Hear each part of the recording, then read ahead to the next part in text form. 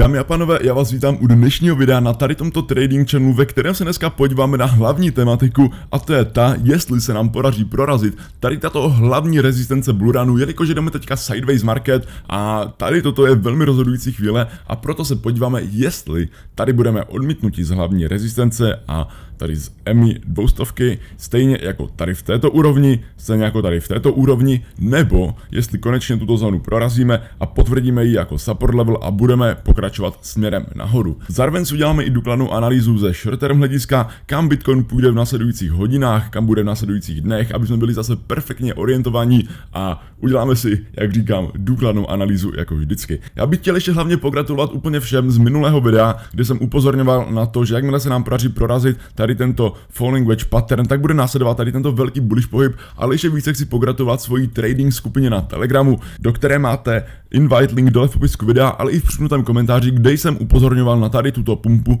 už tady dole v těchto místech, jak začínala tady tato nová svíce. Kdo nevíte a jste tady nový, tak do této trading skupiny na Telegramu dávám úplně každý den analýzy na Bitcoin, na altcoiny a s tím pádem každý den v obraze jsou tam perfektní profity, informují tam i o altcoinech, u kterých očekávám bullish pohyb a na celý kryptotrh tam jsou každý den analýzy a profity tam jsou úplně geniální, protože máme tady chycený i tady tento krásný profit, který zase v této skupině vychytal úplné dno Bitcoinu předtím, než nastal bullish pohyb, stejně jako i minule v těchto místech. Takže já vám chci ještě jednou pogratulovat a kdo se noví a nevíte, tak tady tento můj YouTube channel je s touto mojí skupinou na Telegramu propojený a dávám tam každý den informace. Jenom taková věc rychle, než budeme pokračovat v našem videu. Já jsem si všiml, že hodně lidí tam nemá na Telegramu zaregistrovaný účet. Ono si můžete stáhnout aplikaci a potom vám bude na ty analýzy každý den chodit upozornění a budete mít přehled tím pádem každý den. To je všechno, co jsem chtěl říct a my se můžeme jít podívat na dnešní video.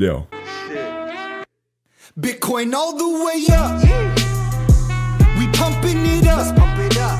Bitcoin all the way up.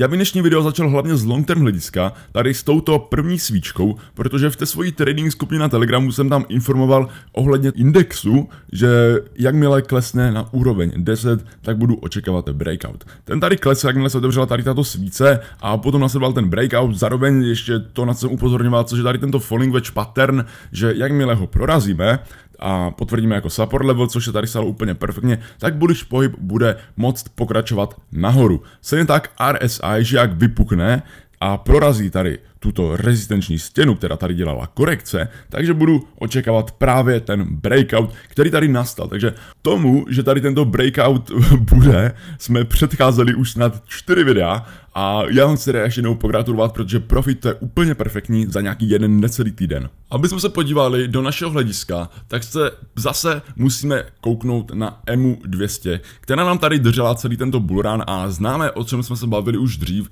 že jakmile jsme ji proburali, byl tu ještě větší pád dolů a tady nás to odmítlo dolů, odmítlo nás to i tady v těchto místech, potom jakmile přišla pumpa, tak i znovu v těchto místech. Aktuálně jsme zase u této EMI a probourali jsme ji poměrně pěkně. Můžeme tady vidět knot, ale co už není tak pěkné, tak to, že ta EMA se aktuálně nachází v rezistenční zóně A, která je na úrovni 38 800 až 39 870. Pro nás je důležité, aby jsme na jednodenním grafu dokázali na tou EMO uzavřít a potvrdit ji jako support level. Co je tady špatné, tak je to, že máme tady rezistenční zónu a ta EMA je v ní, takže ten odpor tu je jednak tady z EMI, ale je tu zároveň i z této rezistenční zóny, což se nám tu sehrálo úplně perfektně. Minule ta EMA byla v hlavní rezistenční zóně, takže ty pády tu byly velké. A včera, když to připomeneme na jednodenní graf, tak jsme se tu podívali, ale nepodařilo se nám to uzavřít, nepodařilo se nám to otestovat ani nic, byl tu prostě hned velký odprodej a pád dolů. Ten pád dolů tu byl o nějakých 8% a když se podíváme ještě níže, tak druhá svíčka, dnešní svíčka teda spadla až k tomuto support levelu, takže je super, že jsme tady tento support level potvrdili, to jsem vlastně psal včera, že tady čekají nějaké ty objemy, nebylo to tu ověřené na žádné svíčce, ale ty objemy tu čekali, takže jsem chtěl prostě vidět, jestli tu bude ten odraz nebo ne, a to je přesně to, co jsem psal, že budu potřebovat vidět potvrzení tohle support levelu. A ten odraz této oblasti máme. Máme to se o něco vyše, takže to si ještě upravíme, koukneme se dneska na objemy a podle nich si ještě upravíme případně tady tento support level, protože včera, jak jsem to tam psal, tak jsme byli někde v těchto místech. Každopádně, e, na čtyřhodinovém grafu jde vidět, že se tady bijeme o ten uzávěr.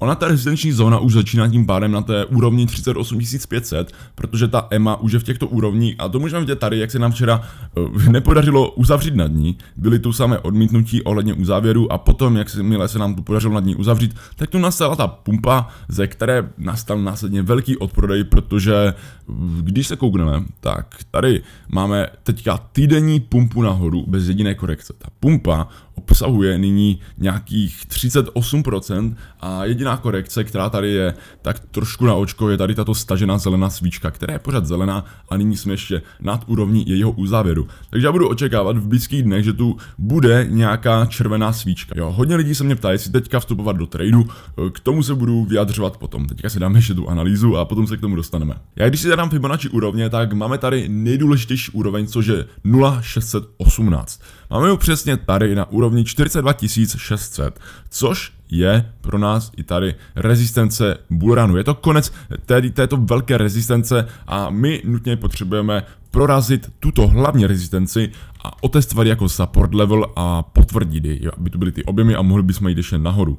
Toto dokonalé potvrzení tady potřebujeme, protože, jak jsem říkal, a říkám to už asi po desáté, tak jedeme tady v tomto sideways marketu a rozhoduje se, jestli ukončíme tady tento bullrun, že prorazíme hlavní support level, utestujeme ho jako rezistenci a pojedeme dolů, nebo naopak, co jsem říkal tady nahoře, s proražením hlavní rezistence. Proto aby jsme toto dokázali, tak musíme prorazit rezistenční zónu A na úrovni 38 800 až 39 870. Já bych to změnil z těch 38 800 na 38 500, jelikož tu máme EMU a můžeme to vidět už ten odpor ohledně uzávěru a jaký tu máme celkový odpor.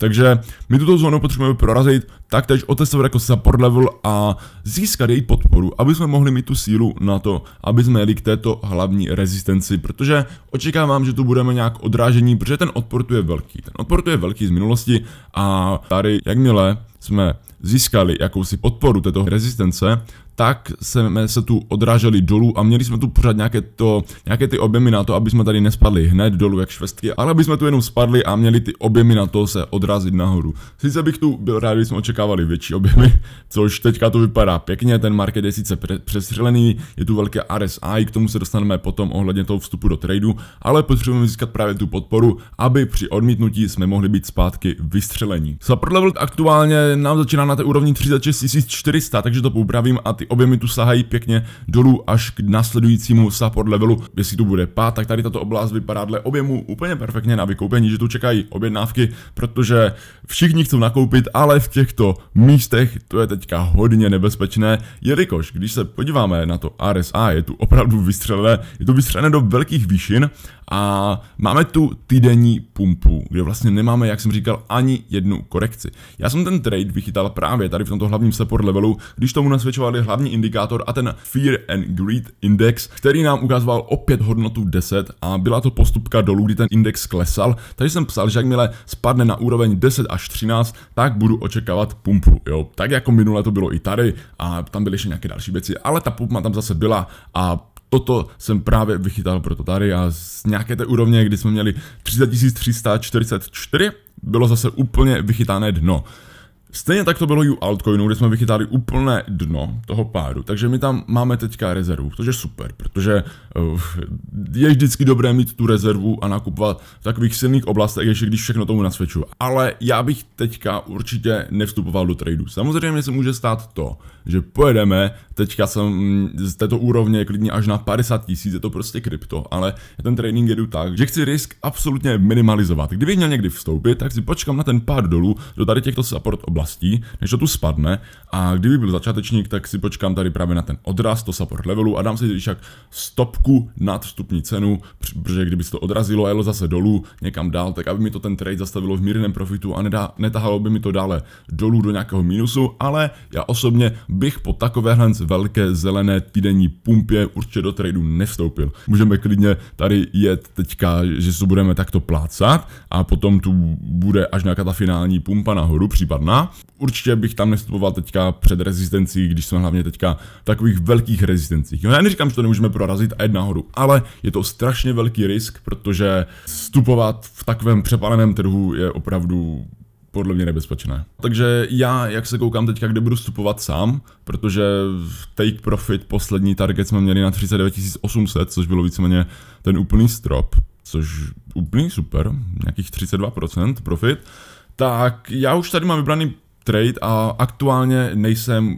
v žádném tradu na Bitcoin, jsem v několika altcoinech, kde máme teda vychytané to úplné dno, takže to ještě držím, ale na Bitcoin asi tady budu vstupovat podle té taktiky, jak jsem říkal, jestli tu spadne ten trh dolů, tak asi budu využívat tě, to nějakého vhodného místa, kde budou největší objemy, a tam nastoupím, jo. Případně si potom dám tu stopku nad vstupní cenu, protože jestli bude profit, něco vyberu, potom to spadne dolů, tak aby mi to nešlo do mínusu, jo. Takže to ještě uvidíme, jak se zařídíme.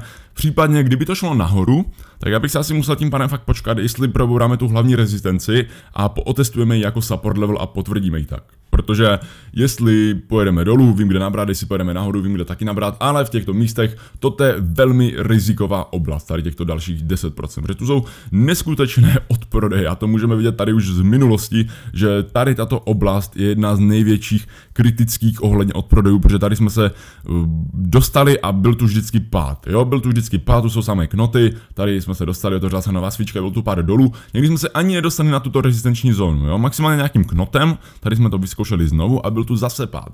Takže, jak říkám, já buď využiju odrazu ze support levelu, nebo si počkám na probourání tady této hlavní rezistence. Ethereum nám dělá taktéž radost, tam se zařídím asi stejně podle Bitcoinu, protože u Ethereum máme hlavně rezistenci tady v těchto místech, jak můžeme vidět. Já když tak do té svojí trading skupiny veřejné updatenu i to Ethereum, protože to už jsem tam naposledy dával, jenom když jsem upozorňoval znova na breakout tady z tohle Rising Wedge, jak ho probouráme, tak tady bude pumpa, což pumpa tu je perfektní, jsou to nějakých 17%, já ještě držím ten minulý trade vlastně tady z tohle z dna, z tohle support levelu, kde jsem to zase uváděl do té skupiny, že tu budu nakupovat a tam je profit okolo nějakých 40% to teďka bude.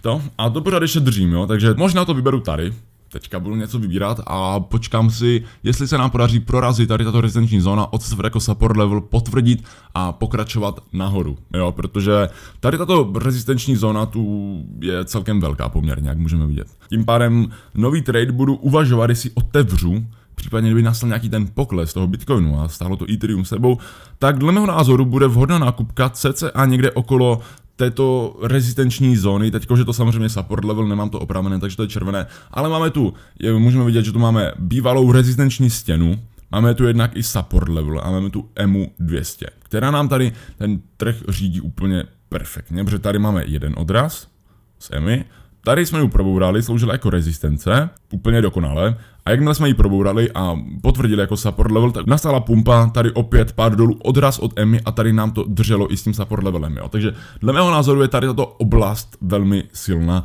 Takže Ethereum budu chtít určitě vstoupit do tradu. Až jestli spadneme, tak asi budu chtít tady vstoupit, jo. Jako, jestli fakt spadneme, tak toho budu chtít určitě využít, protože teďka koukám, že to je vážně silná oblast. Každopádně, já i když uvádím ve svých analýzách, že budu vstupovat někdy v zeleném support levelu, tak já v tom support levelu opravdu vstoupit chci, ale vždycky si hlídám, jestli tam jsou objemy, jo.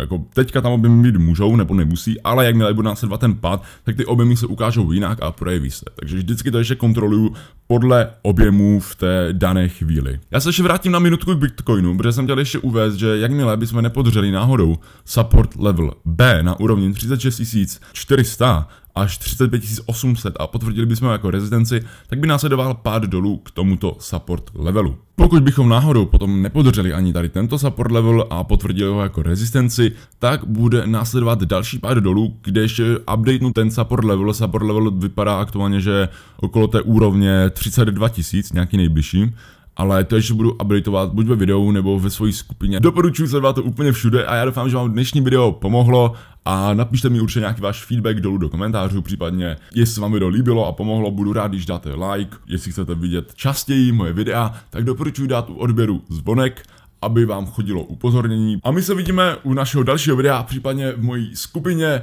a já vám přeji hodně štěstí v tradingu a pořádné profity, jak můžeme vidět tady. Tak se mějte a hodně štěstí.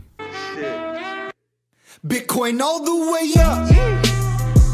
We pumping it up. Bitcoin all the way up.